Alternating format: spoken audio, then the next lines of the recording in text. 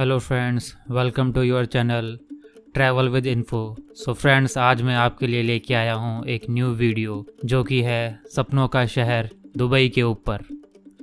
Dubai United Arab अमीरात जो कि यूएई के नाम से भी जाना जाता है। यूएई सेवन अमीरात से मिलकर बना है। दुबई इन सात अमीरात में से एक अमीराट्स है। यूएई का कैपिटल अबू धाबी है। दुबई का नाम सुनते ही दिमाग में ऊँची ऊँची बिल्डिंग्स सुपर कार्स होटल्स, ये सब आता है ना? पर दोस्तों, क्या आपको पता है, दुबई हरदम से ऐसा नहीं था। अगर हम 20 साल पीछे जाएँ तो दुबई के पास कुछ भी नहीं था। इसे मछुआरों का शहर कहा जाता था। फिर आप सोच रहे होंगे, दुबई इतना अमीर, तेल के कारण बन गया। तो दोस्तों, मैं आपको बता दूँ, ये बिल्कुल सही नहीं है। आपको जानकर हैरानी होगी, पर दुबई के रेवेन्यू में तेल का हिस्सा पाँच परसेंट से भी कम आता है। तो दुबई इतना अमीर बना कैसे?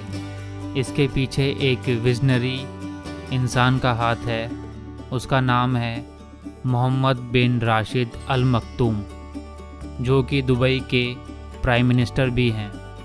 दोस्तों, इन्होंने इंग्लैंड से बिलियंस डॉलर का लोन लिया और दुबई में infrastructure trade tourism aviation financial service and real estate पर ज़ोर दिया। टूरिज़्म इंडस्ट्री को बढ़ावा दिया। बड़े बड़े होटल बनवाए, क्योंकि उन्हें पता था तेल हरदम नहीं रहेगा।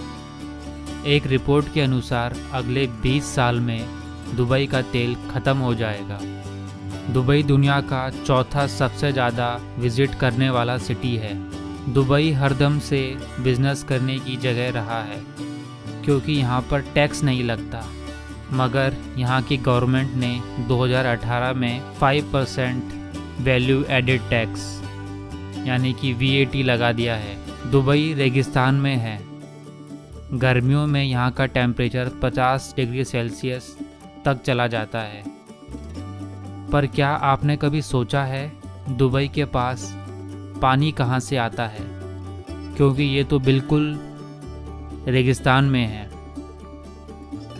आपको जानकर हैरानी होगी, दुबई में 99 परसेंट पीने का पानी यहाँ पे लगे बड़े बड़े सेलिनेशन प्लांट से आता है। इन्होंने दुनिया की बेस्ट टेक्नोलॉजी का यूज़ करके समुंदर के पानी को पीने के लायक बनाया है। दुनिया की सबसे बड़ी टावर भी दुबई के पास है, जिसको हम ब्रुज खलीफा के नाम से जानते हैं। दोस्तों, इसकी ऊंचाई 828 मीटर है। दोस्तों, आपको जानकर हैरानी होगी दुबई एक और टावर बना रहा है, दुबई क्रीक टावर, जो ब्रुज खलीफा से कम से कम 100 मीटर ज़्यादा ऊँची होगी। ये बनने के बाद ये दुनिया की सबसे ऊँची टावर बन जाएगी। दुबई के पास दुनिया का सबसे बड़ा फ्लावर गार्डन है, दुबई मिरेकल गार्डन। इस गार्डन में 45 मिलियन फ्लावर्स हैं। यह गार्डन गर्मियों में क्लोज रहता है, क्योंकि यहाँ गर्मियों में टेम्परेचर 50 डिग्री सेल्सियस तक चला जाता है। दुबई पाँच साल से लगातार रोड की क्वालिटी में नंबर वन रहा है अकॉर्डिंग टू ग्लोबल इकनॉमी दोस्तों, क्या आपको पता है, दुबई में जितने भी बस स्टैंड हैं, वो सारे एयर कंडीशनर है। और ऐसे बस स्टैंड लगभग हज़ार हैं दुबई के अंदर। दुबई के पास दुनिया की सबसे बड़ी फुल्ली ऑटोमेटेड मेट्रो सिस्टम है। मतलब ये मेट्रो बिना ड्राइवर के चलती है। इसमें ड्राइवर की ज़रूरत नहीं होती। दोस्तों, आपको जानकर हैरानी होगी, दुबई ने मिलिट्री सर्विस को मैंडेटरी बना दिया है। यहाँ पर लोगों को सेकेंडरी स्कूल के बाद एक साल चार महीने की सर्विस देनी मैंडेटरी है।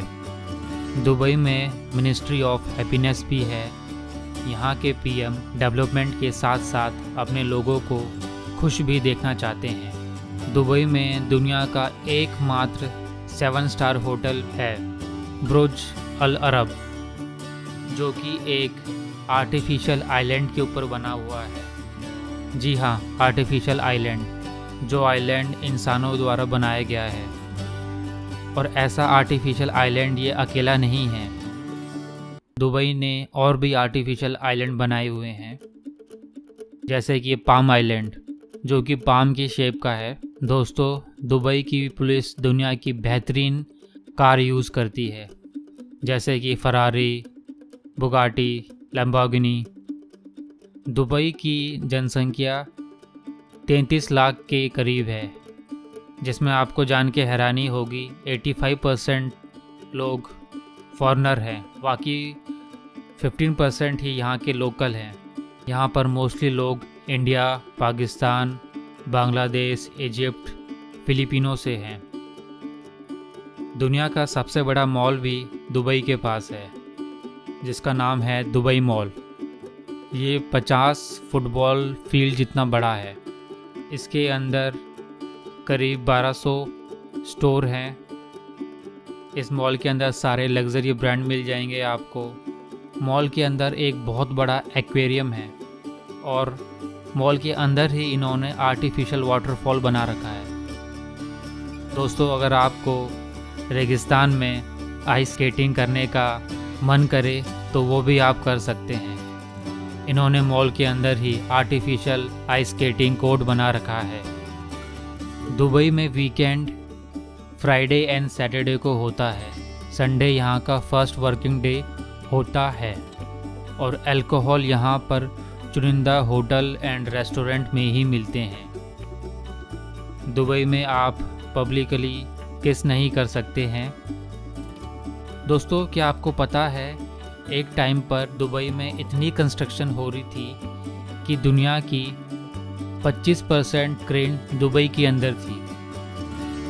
अभी भी यहाँ पे बहुत सारी क्रेन है। दोस्तों, आपने कैमल रेस तो देखी होगी, पर जो कैमल रेस दुबई में होती है, ऐसी नहीं देखी होगी, क्योंकि यहाँ पे कैमल को रोबोट चलाते हैं। दोस्तों, दुबई एक बहुत साफ़ सुथरा शहर है। और इसकी सफ़ाई को मेंटेन करने के लिए यहाँ की गवर्नमेंट पूरा ध्यान देती है। आप यहाँ पे गंदी कार ड्राइव नहीं कर सकते। अगर आप गंदी कार ड्राइव करोगे तो आपके अकाउंट से 200 दिरम का फ़ाइन कट जाएगा। दोस्तों दुबई में एक हाइपर लूप प्रोजेक्ट पर भी काम चल रहा है। इस हाइपर लूप प्रोजेक्ट के कंप्लीट होने पे आप दुबई से अबू धाबी का डिस्टेंस सिर्फ़ 12 मिनट में कवर कर लोगे। इस हाइपर लूप में दस हज़ार पैसेंजर एक साथ ट्रैवल कर सकते हैं। सो दोस्तों, आशा करता हूँ आपको ये वीडियो पसंद आई होगी। Please like share and subscribe to my channel तो मिलते हैं अगली वीडियो में। तब तक के लिए नमस्कार, शबा खैर, अलविदा।